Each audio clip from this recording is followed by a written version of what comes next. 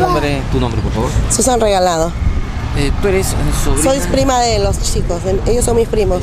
Y, eh, bueno, tú también estás apoyando a tus primos. Sí, en- estamos apoyando a mi primo porque no puede ser posible. Mira, a mi tío le sucede este accidente a las 11 10 de la noche. A las 11 de la noche hacen el levantamiento del cadáver. La señorita Ruth Escate y el técnico Manrique, creo que, Rodríguez, de, los- de la comisaría.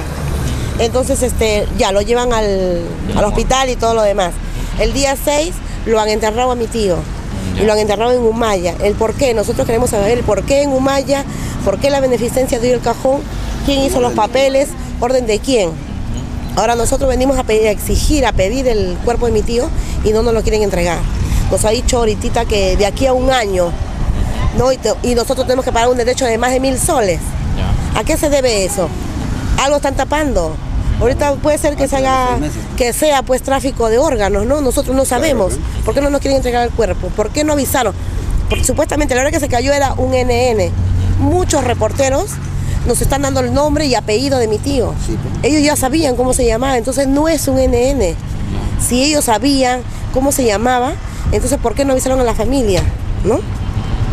Que algo están escondiendo. Nosotros queremos que nos devuelvan el cuerpo, así conforme ellos se lo han llevado hasta allá, han dado autorización que se lo lleven hasta Gumaya, que lo traigan, que lo devuelvan.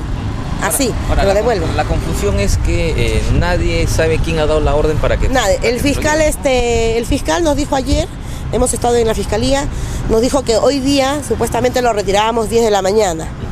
Ayer mi prima va con, mi- con su esposo, con mi primo, y le dicen que no, que ya el cuerpo ha sido enterrado, el día 6. O sea, el fiscal no sabía que el No, cuerpo ya No, había sido- no sabía el fiscal nada.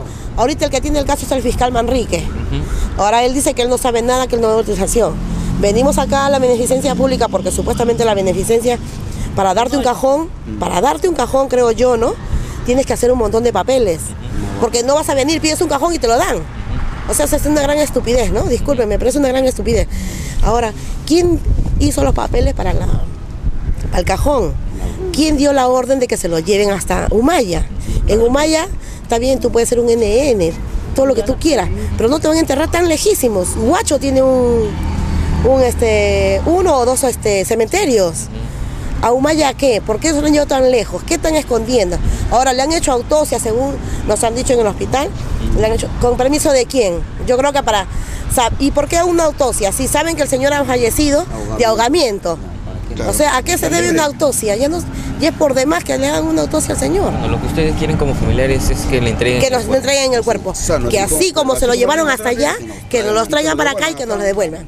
Y nosotros no queremos que le hayan hecho una autopsia, porque nosotros no hemos dado autorización para nada. Sí, Y si el señor está abierto el cuerpo, nosotros, porque nosotros queremos ver el cuerpo, si está abierto, si hay autopsia, nosotros denunciaremos a quien se debe de denunciar. Porque él no ha sido una persona enferma, él no ha sido un alcohólico, no ha sido un drogadito, no ha sido nada. Todo, su, todo lo que está dentro de él está sano. Y si le sirve para los estudiantes de medicina o para quien sea, pues piña, que lo devuelvan.